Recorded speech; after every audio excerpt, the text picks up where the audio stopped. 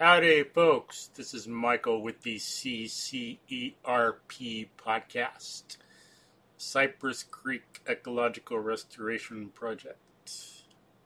So today, we're talking more about the E for ecology. We'll be talking a little bit about ecology, species, environments, interactions, invasive species, pros and cons, influences, and to join us in this discussion is a multi-time guest, Teri MacArthur. Teri, could you say hi, please?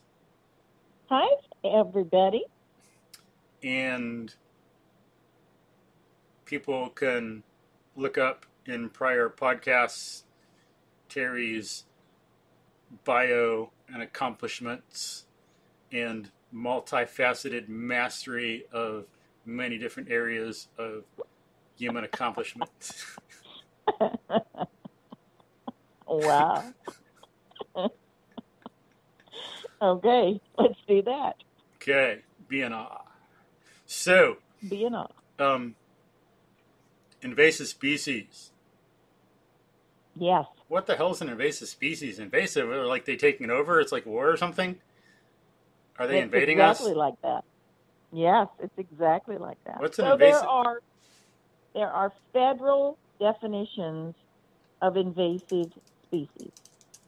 And in a nutshell, to be an invasive species according to those federal guidelines, it has to be non-native to the area where it exists and it has to either cause or have the potential to cause harm economically, human health wise, uh, environment wise, um, you know, those sorts of criteria. So uh, there are many, many species, both plant and animal, that the feds uh, prohibit from being possessed, bought, sold, transported, introduced into water uh, waterways, and so forth, so on. To keep it more simple for most of us, it is it is non-native species that are out of in the wrong place, out of their natural environment, with few, if any, natural controls, so that they proliferate at a rate that does do that harm to the environment. And that's, you know, pretty much how we think of it when we get out there to monitor what what's especially plants growing in our natural ecosystems and how we deal with them, how we view them, what what our uh, goals are in uh, reducing or eliminating them, all come back to the fact that they're they're not natives here, and they do damage. hmm Yeah. So, So so really, yeah, so yeah. So, it's important to see that it's a contextual ecological thing. We can't just look at something out of context. Um, and some species can be non-native but acceptable.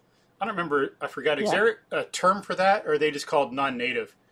I think we got native. they're- yeah, they're just typically called non-native. Yeah, Yeah. So there's some that are non-native, and what's the word? In, innocuous. They're fine. I Um, guess sure, sure. But some, yeah, that are non-native and invasive. And I'll put some definitions up so people can see from like U.S. Forest Service, Mhm. Mhm. National Geographic. Um, people can see if they want get some information. Because in some, like um, the Chinese elm, it's non-native, but it was needed because of the elm disease um, that hit. What was that in the fifties when there was there used to be a lot of elm trees? Was it Yeah. on Yeah. lining city streets? But there was a Yeah. Dutch elm disease that um, came over and killed off a lot of them. So And the same sort of thing has happened with other species that were attacked by non native uh, pests of some kind or other. Um, there are non-natives that actually become well adapted to an area and can even be beneficial. I mean, a couple of them that come off the top of my head are things like earthworms and honeybees that are non-native to the United States, but yet are considered helpful organisms in, in many ecosystems. Yeah, there can right. also be natives, especially vegetation, that can be very aggressive in its growth, but it never makes the invasives list because it's a native species. Yeah, A couple earth- of examples off the top of my head of that would be things like Yaupon holly. People love to hate Yaupon holly because it grows so proliferatively, but it's it's a native, so it's it's just called aggressive. And things like uh, our native river cane, um, very aggressive grower, but Mhm. it's a native, so it's not ever going to be termed invasive. Cool. And then, yeah, the ecosystem matters, the context, because some places need leaf cover on the ground, and earthworms can get rid of that. Earthworms can pull, you know, cut up, eat the leaves, pull them into the ground, um, mess with the soil, aerate it, all that.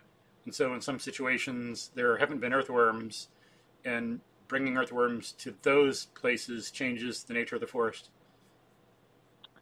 So, so let's talk for just a minute about ecosystems and and the benefits we get from ecosystems as as an intro to the differences when invasives move in. So, humans rely on ecosystems for many many services. I mean, let's talk about the most obvious one that every school kid knows about photosynthesis. So think about those interactions in that ecosystem that lead us to benefit from photosynthesis. First, uh, a seed has to have interactions with soil microbes to get nutrients to grow into a tree. The tree has to have interactions with the atmosphere, with sunlight, with moisture, either in the soil or in the atmosphere. Um, it has to have chlorophyll so that those interactions then become a process that we call photosynthesis. Um, nobody has thought to ask the trees what they call it, so we don't know that answer, but we call it photosynthesis. And the big bonus as far as those interactions go is they function to provide us the service of releasing all the excess oxygen from that process into the atmosphere for humans and every other living thing to use. So it's not, you can't look at photosynthesis helps put oxygen into the atmosphere by itself. And yeah, there are so a zillion interactions that have to happen first. And it's it's important to think about where those trees and green plants, but let's kind of isolate the trees, where those trees are, what their ecosystems look like. It's not the same trees everywhere all over the world. It, trees can be very selective where they grow, and soils can be very selective what they allow to grow. So it still comes down to interactions, and for us to benefit from those services, it has taken not just millennia, but eons for those relationships to develop and for us to have the benefits of those relationships because not everybody plays well together. Native or not, they don't all play well together. So, you know, for example, you mentioned those uh, soil organisms, especially the microbes that decompose uh, uh, all the organic stuff that ends up dead on the ground, the leaves, the branches, all of that material. In point of fact, when it comes to the invertebrates, who are a big part of that de- decomposing community, uh, in essence, all plants are toxic to insects. So, for insects to have a relationship with plants, even the insects and other invertebrates that help with decomposition, there has to be that eons of co-evolution for them to get along together. I'd like to talk a little bit more more about that in a minute, but um, it still is about interactions. We have to have all those ecosystem interactions to end up with the functions that we call environmental services, the kinds of good things we get. So when it comes to let's go back to photosynthesis. So I mean what a what a huge and critical part of the services that we get as well as other or oxygen using organisms from that one process but more green in an environment doesn't necessarily mean a good thing mm-hmm. because of that um, eons long um, co evolvement that put us in a place where those plants were in that place doing that task for us. Uh, they weren't there during the time when those plants, those microbes, those organisms were um, developing the, the kinds of interactions that lead us to those benefits. So, what happens is um, something that's not native moves into the neighborhood. Well, you know, a few non natives, as you pointed out, that doesn't necessarily mean, you know, doom and gloom. But if they turn out to be invasive, that's where the problems come in and and so uh, unless you have a particular question at this point, I mean, what natives do is change the ecosystem. All plants essentially are toxic to insects. So let's think about that.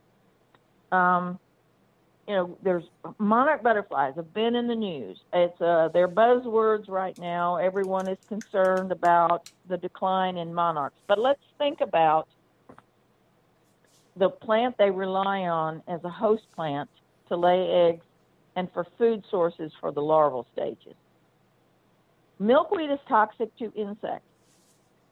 If insects try to eat milkweed, the first thing that happens is all that thick, milky, sticky substance that exudes when you damage or break a stem or a leaf is one of the world's best glues. It instantly glues all the mouth parts of that insect closed, and they die from starvation because they can no longer take in food.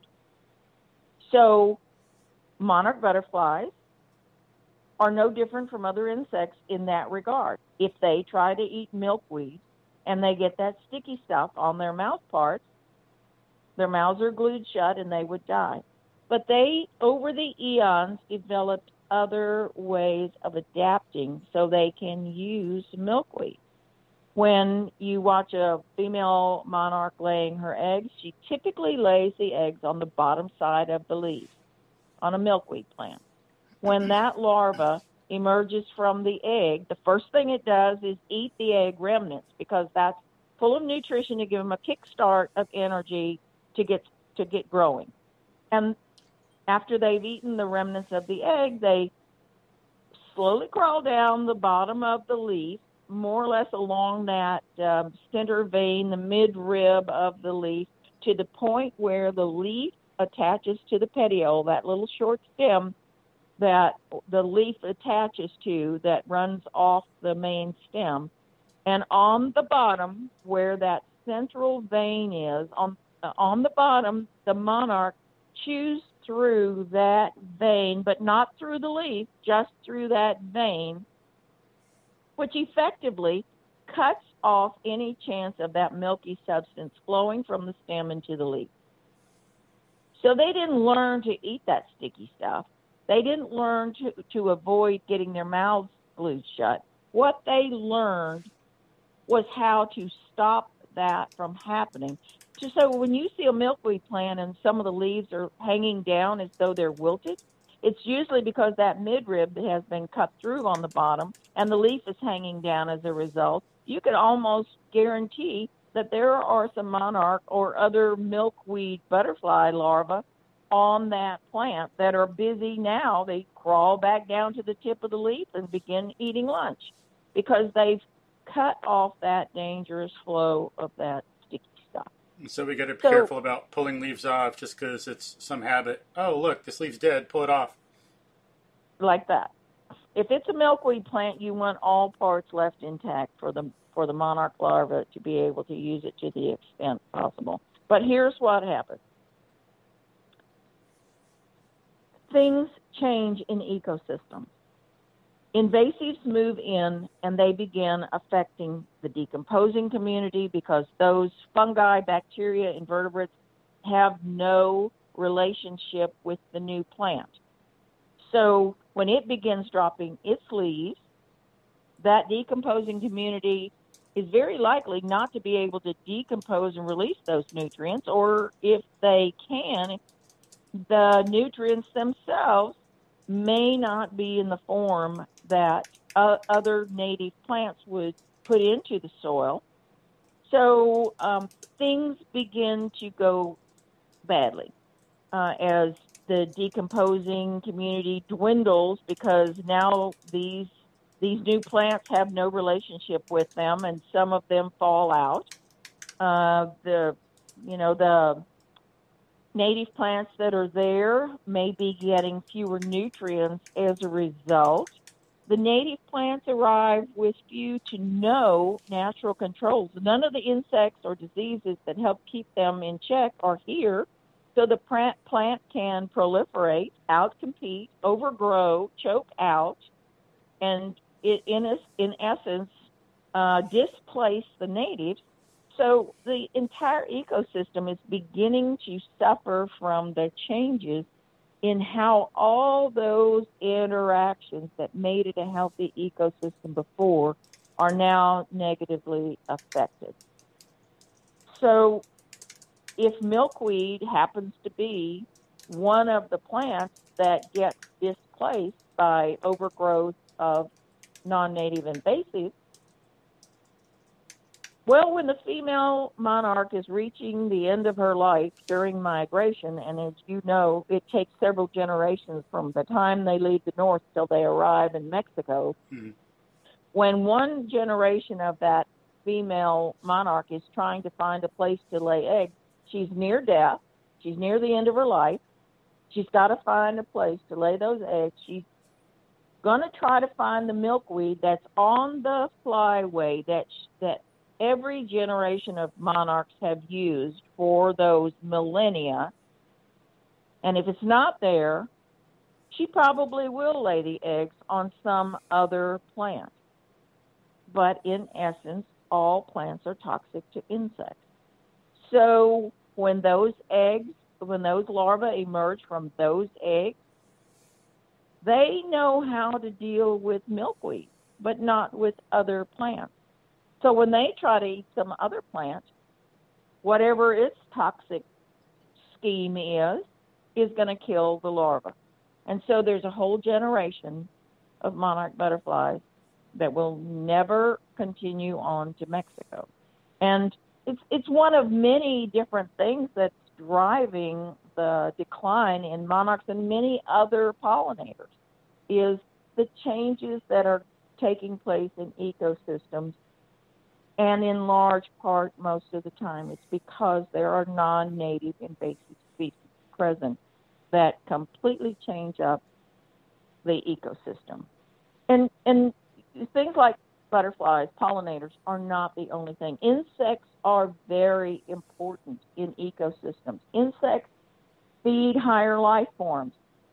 Insects the beneficial ones help keep the ones you don't want the ones that are pests under control. Insects help with pollination in their own way.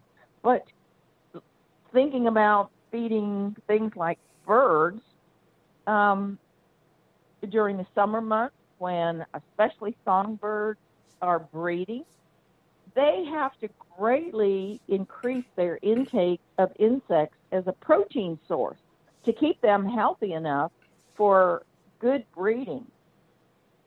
Then comes fall into winter, and not only the uh, resident birds in an area, but especially those that migrate, now need a whole nother kind of food. No more are they eating those high protein insects. Now, what they need is high fat vegetation, berries especially, uh, that grow on native plants that are in their flyway, that for generations, millennia, eons, the birds have flown the same flyway. It doesn't matter where the bird populations are in the United States, they tend to fly east from the west coast and west from the east coast to that central major flyway that puts them out over across the Gulf of Mexico heading to the south. And if our native uh, high fat content plants have been displaced by more tropical uh, fruit and berry producing plants. They instead of getting high fat from things like beautyberry and Yaupon holly and hackberry and uh, a, a zillion other natives that the birds have learned to look for. Now, what they get are the non native vines that have high sugar content berries. And one thing, And it's not that they, it's not, I'm sorry? really quickly, um,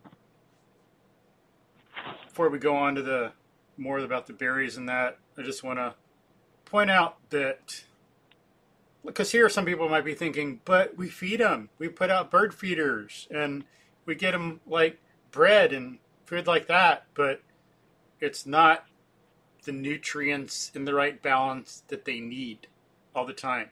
We'd have to know what the needs of the bird are. If we're giving out Exactly. some cute little bird seed that's made from whatever we don't know because we don't look at it and we don't have a biological or ecological understanding of the birds, you know, it's nice people do that. Thank you.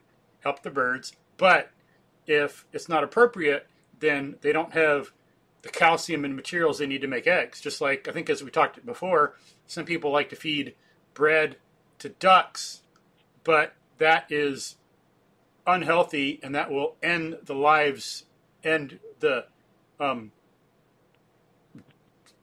pr- the reproduction of some ducks because with they'll fill up on bread it's not the nutrients they need they don't have the calcium or protein to produce healthy viable eggs um,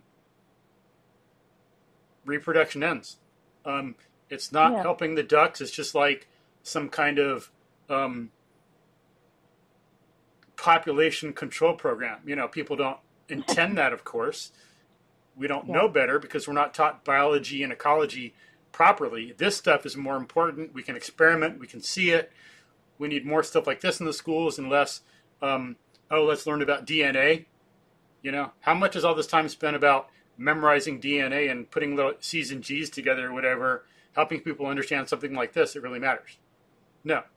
Yeah. Um, yes, DNA is important for certain people, but for most people, they need to learn something like this first. But since some people could be thinking about the um, bird seed thing and feeding the birds and certain given bread or whatever, I just wanted to bring that in there that um, it's nice, it's appreciated. That can be just like um, a piece of cake is good for us. Sometimes it's good for giving us some carbs or whatever. If it's like not got a bunch of too much junk in it, if it's like kind of healthy cake, so to speak. But if the birds rely too much on that, then um, reproduction ends. It's more destructive to the species than helpful. So we got to be careful about yeah. that. So, Um, and we need these so things, yeah, as you say. in, in, yeah, in summertime, if you want to feed birds, try to feed um, higher quality things like um, oh, black oil sunflower seeds or even thistle seed for to help songbirds, um, and put mealworms out. I mean, Mhm. you know, you can Yeah. buy mealworms if you don't want to grow them yourself. Put mealworms out because they need insects. Then in winter, put suet out. They need fat. Here, here's what here's the thing. So, migrating birds, they head south. They get down here into this area. If they can't find the high fat berries they need to build up their strength and reserves to fatten themselves up, they have a days and days flight across the Gulf of Mexico before they hit land again. They will not be able to stop to eat, to drink, or to rest. They have to be fattened up, filled up with enough fat to keep their bodies warm and to survive those days long flights. So if they can only find high sugar tropical type berries and not find the berries they need, they'll they'll eat them because they're going to be hungry and they'll try to eat as much as they can to fatten themselves up. But that sugar high runs out, and every year, you know, there are people out there monitoring how many birds end up dead on the beach somewhere because they didn't have enough energy to complete that flight and arrive at that far shore. So if you if you really want to help birds, especially the migrants in the winter, you know, plant things like Yaupon holly and beautyberry and um, even things like blackhaw viburnum, um, I don't know, coral honeysuckle, um, things that really have those higher fat berries and fruits in the in the wintertime. And and for resident birds, the same thing is true. Think about, you know, the size of a lot of our resident birds. A dozen paper clips weigh as much as some of those small birds. Think how much shivering something like a titmouse has to do overnight during a cool night to keep itself warm enough to live through the night till morning when the sun comes up and it can go get something to eat to warm back up. Think about that. Mhm. So, um, you know, if if you if you want to think about the problem of invasive species in a way that relates to things we know and love, think about insects. The, the insects we want. Think about birds, the birds we want. Think about all the other wildlife that relies on food that they have de- developed relationships with so they can use them. And what happens in ecosystems when they get disrupted by the intrusion of invasive species? It's not a small problem. It's not a simple problem. It's not one to be taken lightly. It's an important problem. So maintaining native species in our ecosystems is it's not just something that would be nice to do. If if we want our ecosystems to keep functioning in ways that we can still benefit from, even though we don't put a dollar value on it, even though we don't really give it its due, keep natives in their place, help promote them, preserve them, replace them, restore them, and help get rid of invasive species. Do what you can. Yeah. Remember, philosophically, in terms of the nature of things, we are a part of nature. We're not separate from it. Um, unfortunately, in some aspects of our culture and some places on Earth, people want to think they're above, beyond, separate from, better than nature, but that's um, not true. Um, something of a delusion. Um, we're part of nature. If we want to live well on this earth and be good human animals, we need a good ecosystem. Um, we don't carry our health around with us regardless of circumstances. As we can see, when people go into space, they don't have the ecosystem, the ecology, the habitat they need to survive and thrive. Um, they're missing a lot of atmosphere, hence, they get more bombarded by cosmic rays affecting their vision, their DNA. They don't have gravity, so there's muscle and bone degeneration.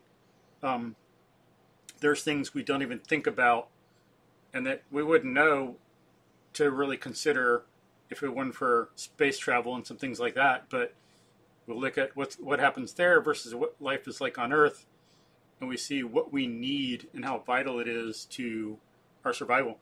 We can't just take our yeah. health with us willy nilly into space. Oh, I'm super strong. I have good bone density. No, we only have bone density in relationship to the Earth. It's a constant, dynamic, evolving, long term thing. It's not some characteristic that we take with us for all time.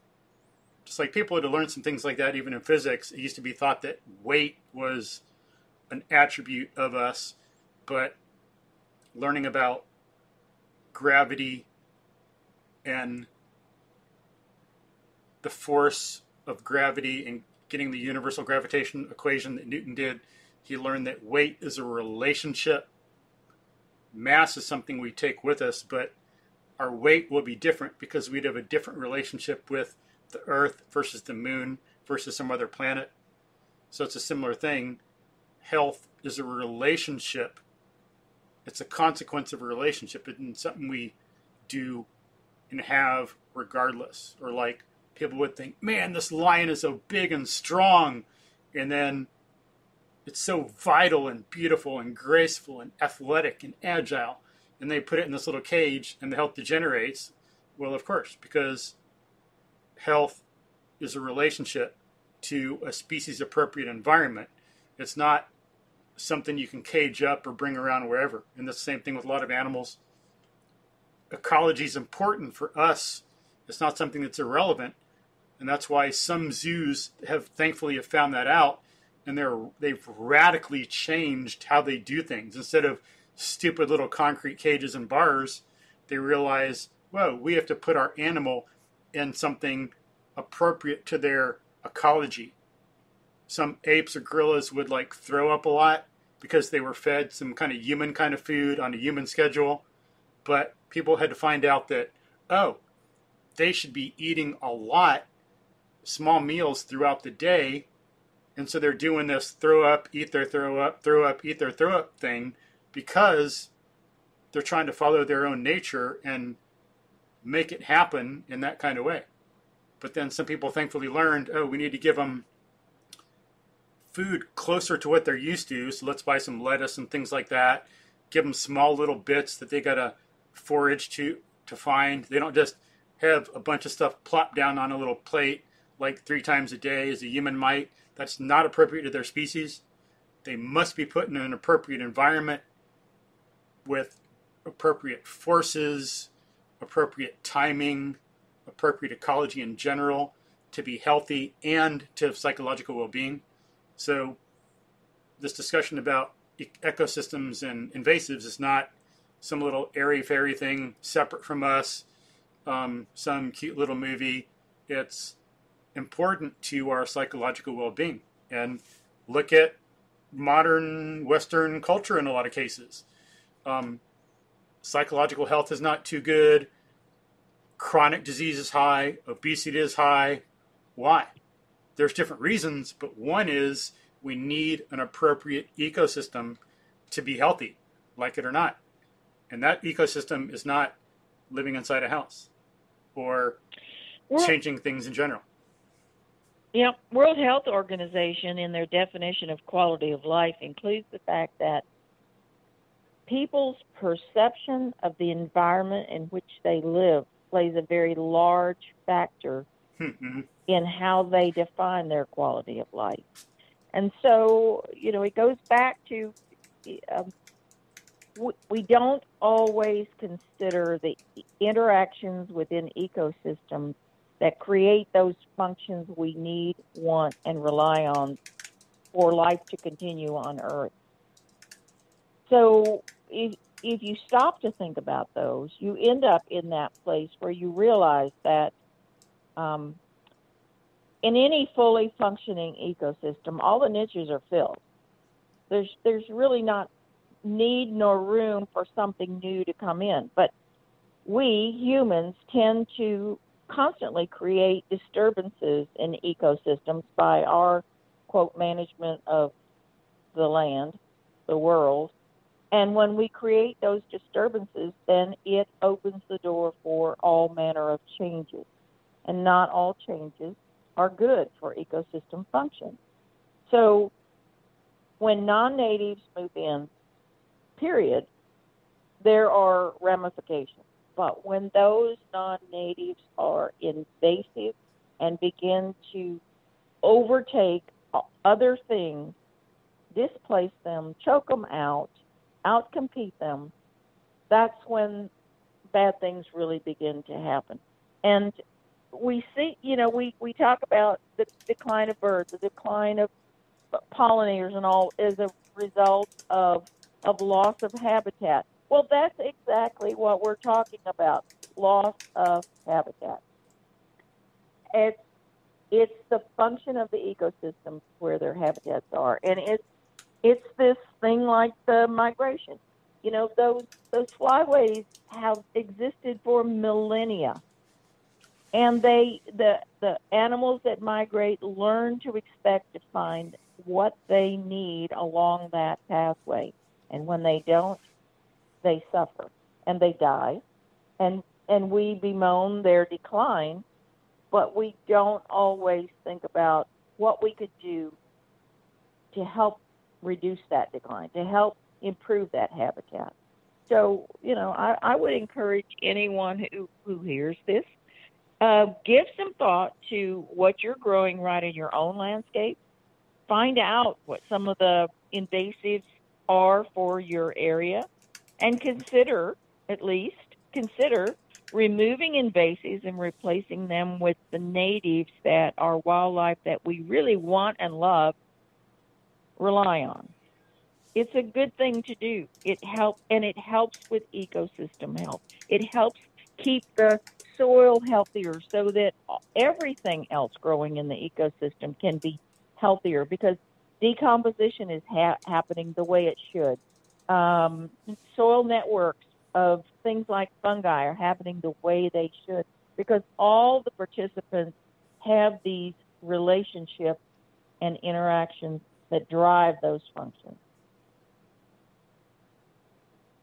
Yeah, another way to think about the important interaction, about the importance of the interaction thing is think about what happens when we isolate. Um, while we are um, fission fusion animals, um, when we can't get some of that larger connection that we need is the fusion part during this COVID quarantine stuff going on and all this cultural pain, psychological pain, um, it causes problems. We need relationships. Yeah. Um, Sure. And that's just some animals don't need that social aspect, but as humans we do. But that's like part of our ecology. We need that connection, um, and we know animals and plants are important, and they're important to our psychological well-being you know, look at the fact that we bring in plants indoors. We have pets. We want to be around animals and plants, and we need it. We can't just be healthy in some place where that doesn't happen. There's that whole biophilia idea, hypothesis. Sure. Um, yeah. So that's another aspect to the importance of the connection thing and being part of ecology. Um, well, referencing E.O. Wilson, you mentioned biophilia, referencing him, he said that the 21st century is, is destined to be known as the century of the environment. Well, that would be a wonderful thing if it turns out, but we're already 20 years in. And I am not seeing it as the century of the environment yet. Um, I think we've got a long way to go. And I think that it, we can take small steps and work toward that. And a, a step that um, pretty much anyone can take is to look around their own domain and see if there are non-native, especially plants, but some other organisms, some animals and pests, are there non-native invasives that could be removed and in their stead increase the number of natives that ecosystems and wildlife on. You know, start there. Start there. And I can look up, um, like, what is it? Texas A&M has that plant center named after the, one of the president's wives. What was that? Um, Lady Bird Johnson Thank Wildflower you. Center. Yeah. And you can look there to get a lot of ideas about natives and look other places. Um, there's a lot of stuff way beautiful, way more beautiful. Some flowers more beautiful than some of the stuff I see people plant temporarily that gets destroyed by freezes anyway and that needs too much water. Um, if people would look up that, if there were some resources for that, if it was taught in school, um, it'd be a lot easier and we'd be better off. Um, and then some of the stuff could feed insects and birds and people as well. Get some nice natives you- like dewberry, Pennsylvania blackberry, southern dewberry, Pennsylvania blackberry.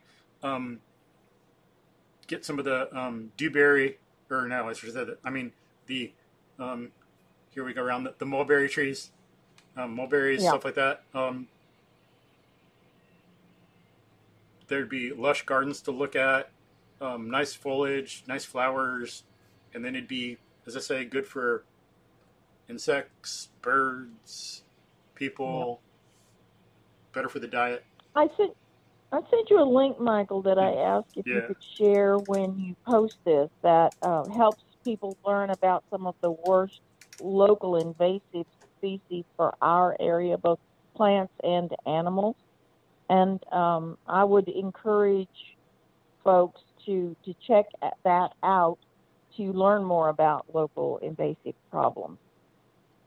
Yeah, it's an education thing. I used to not know any better at one time. You got to learn, um, learn what it is, what an ecosystem is, what invasives are, why it matters. Um, as we've talked about some, how it's really relevant to us. You know, for one thing, aesthetics. And people love to see butterflies. Um, see them flying, flying around. Um, it's good for that, but then there's more with the butterflies too, other than aesthetics. It's like if someone wants to practice moving really slow and practice slow, controlled movement, try to like get an iPhone and stock up on a butterfly and take its picture really close. that is good movement, man. Because Mm. depending on the species too, some of them are more sensitive than others, and sometimes it can be easy to get close to one or um, some kind of dragonfly or damselfly, that kind of thing. But sometimes um, some of them, man, it is difficult. So Yeah. good luck trying. But it's like I've done. I wish I had it on video, but I've done a lot of good fitness training, movement practice, just doing that, taking pictures of butterflies. Sometimes, you know, you got um, my left foot's down. I've got my right foot crossed, like in front of my left. My knees are touching. It's a foot away, and then I bend down and I put my hands out. And you got to wait for the camera to focus sometimes. And I can be in that position for like three minutes trying to take a picture of a butterfly. It's like, you know, strength. It's like, there's my yoga. I don't need to take it from anybody. I got it right there. Yep, But Yep. that's a good workout. so yeah, you got the beauty, you got the aesthetics, you got movement practice. You're out in the sunshine, you got the fresh air. Um, you can make it a competition with your friends, but there's a lot of things. Um, Oh, we're uh, we're going to do the Woodlands Township is going to do um, another invasives workshop on August 14. I will send you that link on Monday when I'm back in the office. and that's So 2021, by the way, for everybody in your the future. Yeah, August 14th, Yes, 2021. 2021. yeah. So if it's in the future, 2022, no. Okay, so Probably not I'll gonna send you that link on Monday. cool. Thank you. We can put that Yeah. up. But um, and So, what are some other invasive species? Um, Some of the ones we deal with here in the Woodlands area, uh, north of Houston, some of the worst ones along our pathways and green spaces are air potato vine, nandina, elephant ears. Uh, what else? What else? Um, I don't know. There's a whole long list of things that are problematic along our green spaces, and it's because you know all that land was once a wonderful forested ecosystem, and we disturbed it by putting in streets and houses and and the pathways themselves. They all created openings for other things to begin to grow.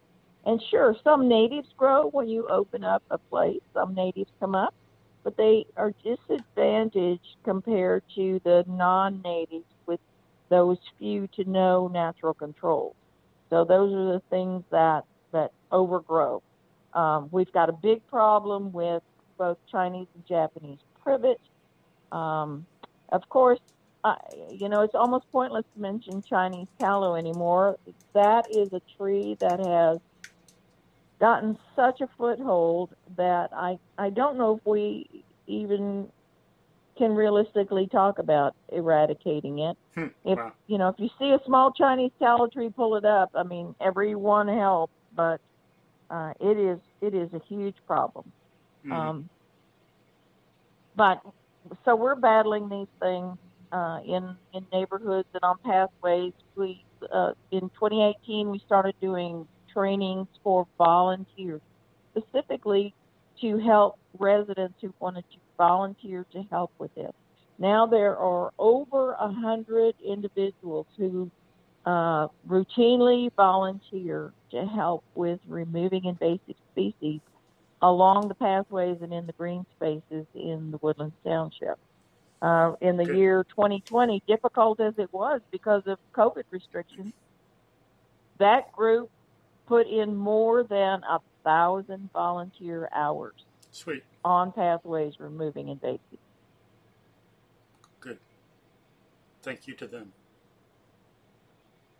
Yes, thank you to them. And some others are what? The zebra mussel, is it called?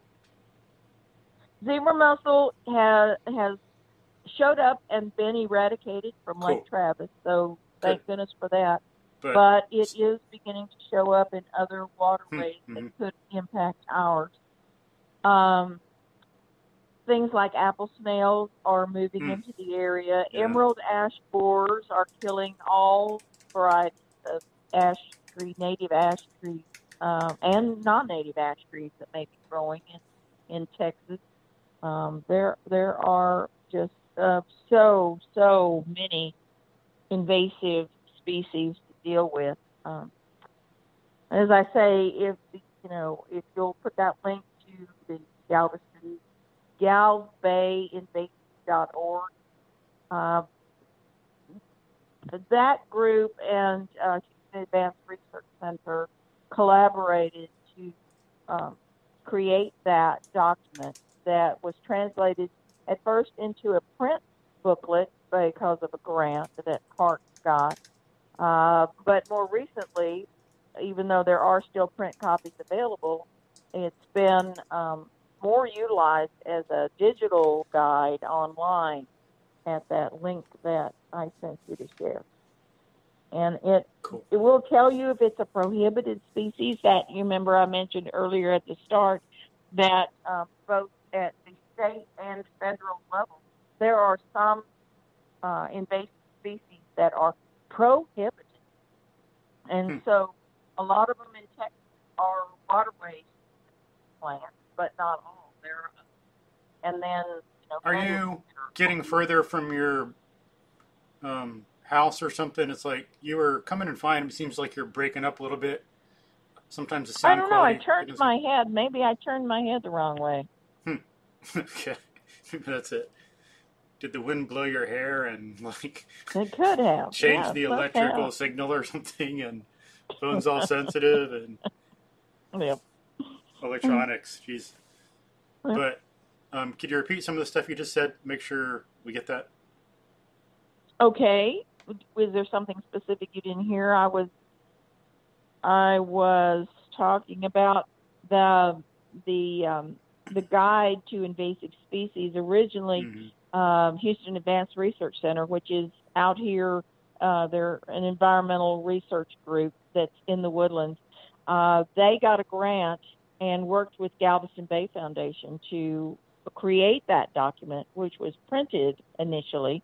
But and and although print copies are still available, uh, it's much more utilized as a digital guide at that galbayinvasives.org website that I sent you to share. Okay. And um, that document will even tell you about the the invasives that are prohibited, both at state and federal level. Um, they'll Cool. tell you which ones are toxic and whether they're toxic to animals, wildlife, humans, whatever. Um, they'll tell you if they're already in the state of Texas or if there's something we're watching for. That kind of information. So, Mhm. um, it, and and they're pretty good descriptors and ID guides there too. Cool. Yeah. And then zebra mussel, kudzu, hogs, Chinese tallow, um, some others besides what you mentioned. What's the one? I forgot the name. There's a vine, a Japanese vine that grows um, along trails, open areas. Um, The most mo- most likely one you'll see is Japanese honeysuckle. hmm, okay, it has those lovely white tubey flowers that um, the problem is it overgrows everything. It overgrows trees, shrubs, grass, anything, and um, chokes them out, keeps the sunlight from to- getting to them. Another one is Japanese climbing fern, which is a true fern. I think that's it. the only true the only true fern you'll find in vine form here, and it's a non-native invasive. It ladders up trees. It grows up trees and uses them to ladder across, and can end up completely overgrowing an area. A Japanese climbing fern is kind of our kudzu, really. Hmm. It um, it will overgrow everything, and the and the not just that it's keeping sunlight from reaching plants so that the plants are less healthy. It's also a hazard because in the winter, it all turns brown, nice, crispy, dead brown, but it persists in the trees. If we ever have wildfire, wildfires Hmm. come through in winter, in fall and winter, when that um, dry material is all through, starting from the ground level all the way up, they could become ladders to tear, take those fires up into the tree crown. And fire that's traveling in treetops is uh, almost impossible to control. Hmm. On the ground, you have a chance, but when it's up in the treetops, it's really, really difficult. So it's it's actually a pretty much of a fire hazard too. So when you see ferns growing in a vine format in our in our ecosystems around here, it's very likely to be Japanese climbing fern and needs to get removed. Yeah, and some trees have evolved to be kind of mm, what's the word I'm trying to think of, but their fire is appropriate for them. They need it.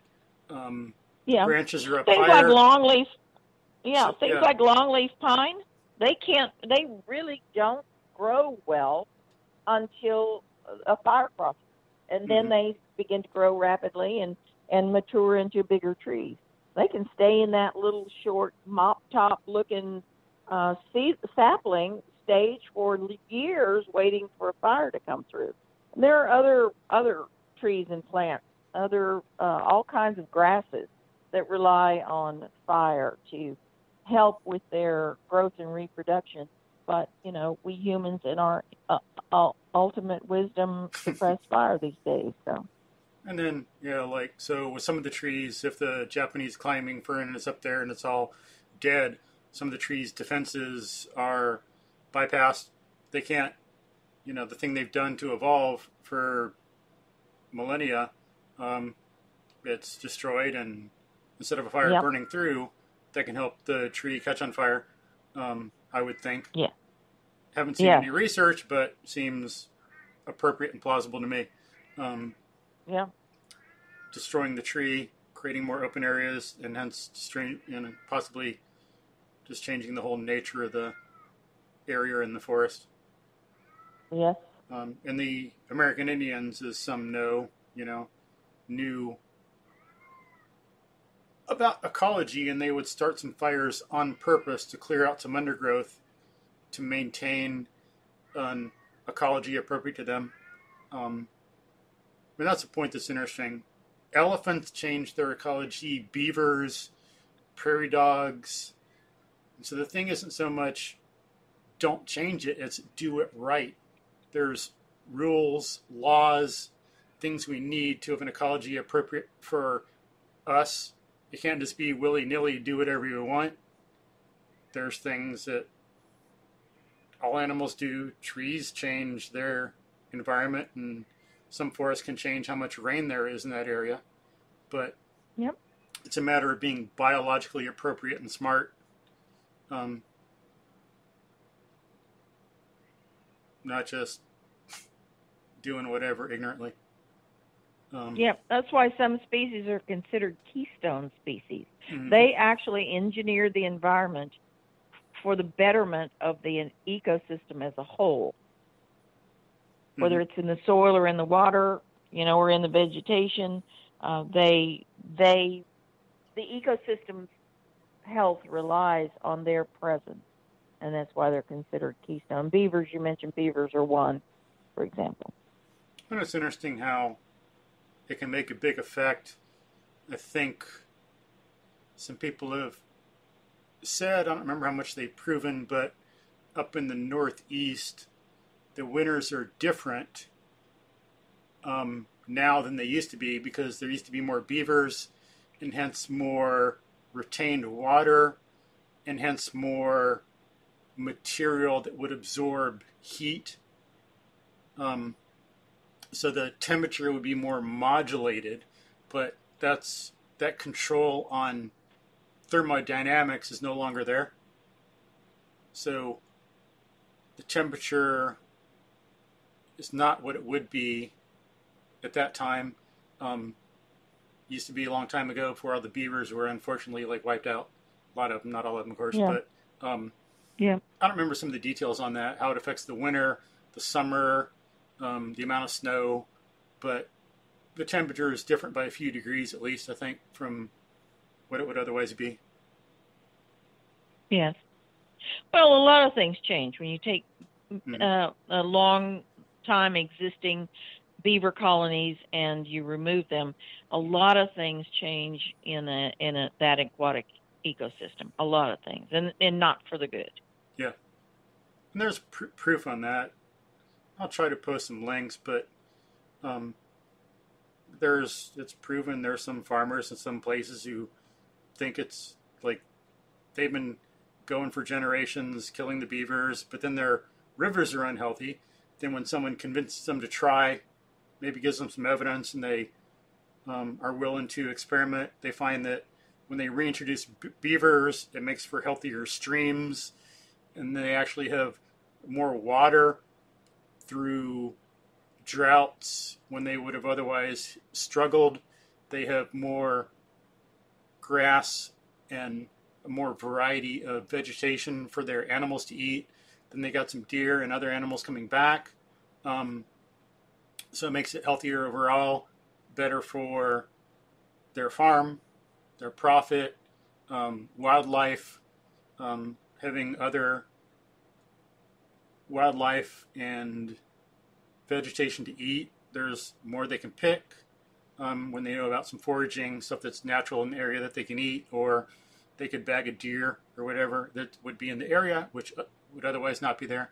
Um, so, And bringing that back to into the conversation about invasive species here in the South, uh, a lot of beavers are being displaced by nutria, which are not native, Hmm, yeah, and they pretty much destroy the the beaver colonies that aren't destroyed by men. And we do have beaver down here. I think someone knows some people along Cypress Creek. She's told me some people kill certain animals because they don't believe we have beaver down here. So they're killing beaver because they think it's a nutria. We don't have beaver down here. We couldn't possibly have beaver down here. So they kill it. Mm. Yeah. Well, and of course we do. Of course we do. Some do. Speak for yourself, Teri. I know you don't. Of course. That's just rhetorical, of course. I know. I know. Teri wouldn't do that. Okay, so folks, Teri wouldn't No. do that. Teri's cool. Okay. Teri rocks the house. Mm. Okay. well, this has been fun discussion today. And one thing, really quickly, if you got a few more minutes, um, Yeah. for Chinese tallow, um, how that can affect things like the leaves will fall. They have a different chemical composition than the leaves that have typically been in the area, and they're more quick de- decomposing. I think they decompose in one season as opposed to several for some other leaves, like some of the oak. Um, so they decompose quickly, change the chemistry of the soil, change the acidity of the soil. Um, what don't the roots give off some exudates, which also change the chemical composition of the soil, Yeah. and that affects the yes, ability al- of other they- plants. the trees are allelopathic, which means they inhibit the growth of other species around them, both through those root uh, exudates and, um, as you say, leaf drop. But um, and and it goes back to what we were saying earlier that all of those not native elements being put into the soil are they're not able to to be used in the same way as before because some of the decomposing community is gone. They can't use it. And what is what nutrients are released are not necessarily what the surrounding ecosystem needs. It's totally different uh, soil makeup now. Yeah. So yeah, just like some people already know how certain plants need a certain soil pH. So affecting the pH will affect what trees can grow there or not, um, and the mineral composition too. Some trees need um, certain ratios of some minerals to grow well. Certain minerals in the first place. Um, it's going to affect just like um, kind of in general. If you look at closer to streams or ponds. Um, you can have some um, river birch, some black willow, and you're not going to find those further out from the creek, but you will find um, some um, loblolly pine and so on. Um, there's differences like that because of the moisture level pH, nutrient composition. Um, changing all that, then yeah, we're not going to have our pine forests anymore. Um, yeah. some of the oaks or some of the others. Um, Well, you know, there's there's another aspect. Uh, it, it there's never one thing to look at mhm. that can cause problems in an ecosystem. There's never said. one thing. The true is the whole. Yes. So, you know, some of what you're saying now uh, is circling back again to things like declines in especially insect species. Um, so think about this. One of the things that trees need to be able to to photosynthesize is nitro- nitrogen. Well, they use a lot of nitrogen in that process. And the the higher the, the they use it to break down the carbon in the atmosphere. So the higher the carbon dioxide, the higher the carbon in the atmosphere, the more nitrogen the trees have to use up to break down that carbon for photosynthesis. And that means the less nitrogen goes into things like leaves and flowers and pollen. And, you know, pollinators don't use pollen just to pollinate the flowers, that's a food source for them. and especially bees specifically target pollen as a food source because of the high nitrogen in it, which is their protein source. Bees mm-hmm. use that as their protein source. So when trees are putting less nitrogen into their flowers, or plants using more nitrogen, putting less nitrogen into their flowers, when vegetation is having to use more and more of their nitrogen content to break down the carbon in the atmosphere, then it's less healthy food in the pollen and the nectar for pollinators. So it's not just loss of habitat. It's not just invasive species. There's, you know, how we manage, how we humans, quote, manage uh, in our, for want of a better word, ignorance of what we're doing, um, affects the environment around us in so so many ways. It's it's it's an endless litany of things we we we could do better, but we don't think about the the results because we don't put a dollar value on the services from the ecosystem. And there's and there's where you know humans place value on things is dollar amount. So we somehow we have to change that thing.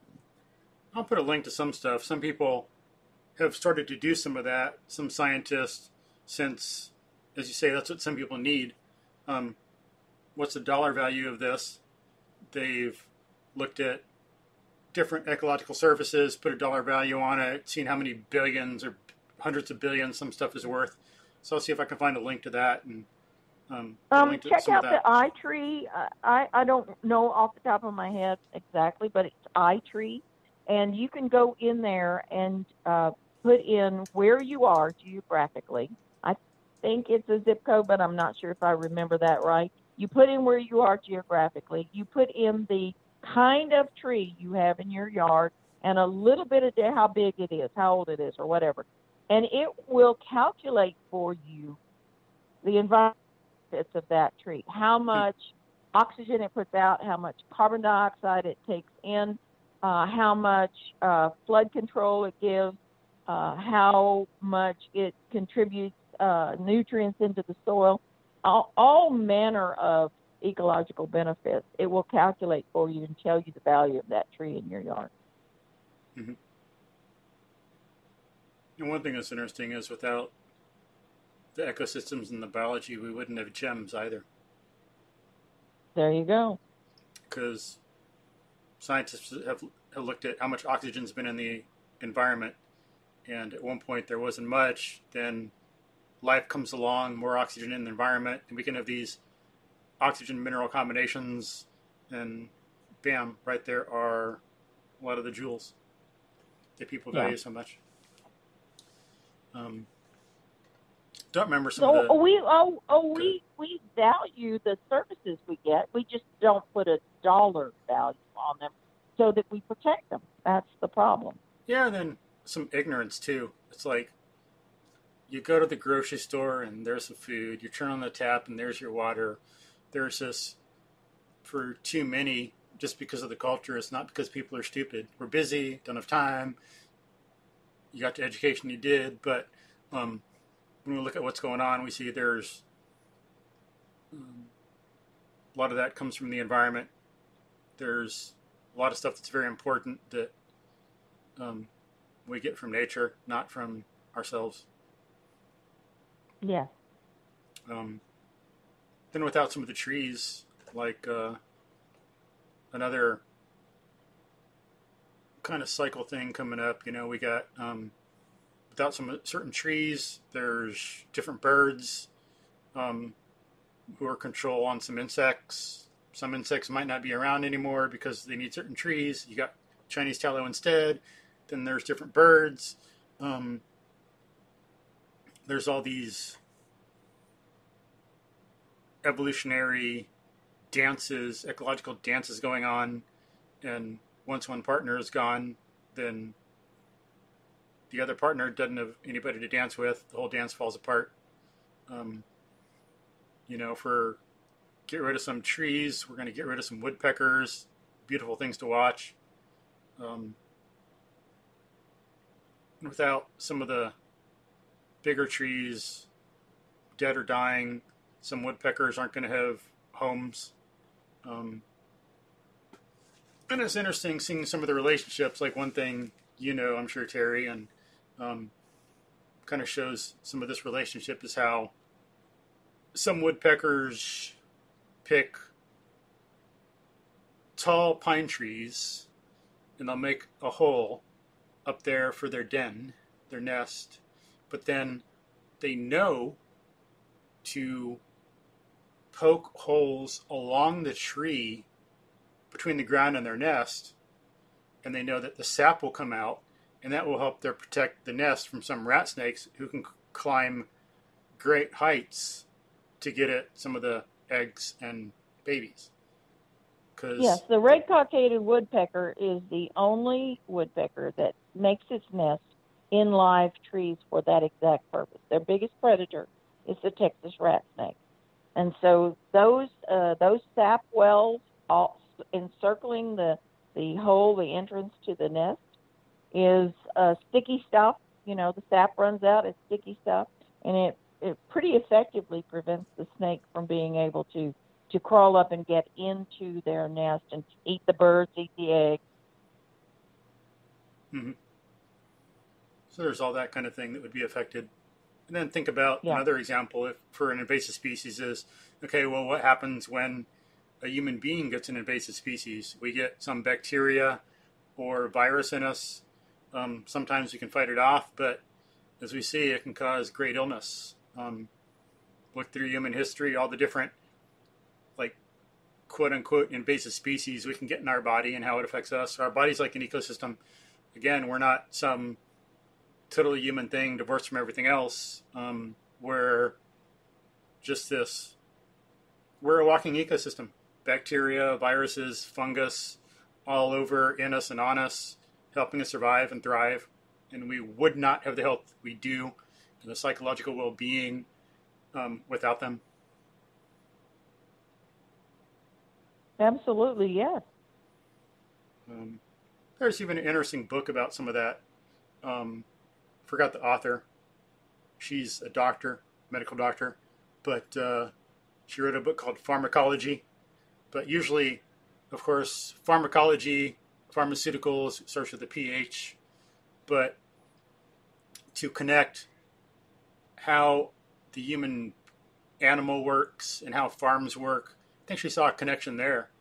Um, similar kind of like a farm's a kind of ecosystem, and she, you know she was learning how the human animal is an ecosystem, saw the relationships between the two, um, and so called her book Farmacology with an F, F A R M, F A R M. Yeah. Yeah, nice little play on words, nice title. Yep. But um, So this stuff matters. It's not an academic, irrelevant issue. Um, anything else you want to add, Teri? Um, or do you think we've all had? I, I think I think we've kind of talked through it, and I, I thought it was a great discussion. And I thank you for Sweet. allowing me to to bring the topic up. Awesome. Thanks for discussing it being on, and thank you for yeah. Um, make it more white. Appreciate you know, it. More known about it, and yeah, spread and help people do something about it and know why it matters. My pleasure, Michael. It's my pleasure always. Cool. Thank you, Teri. You're welcome. Appreciate your wisdom. So, all right.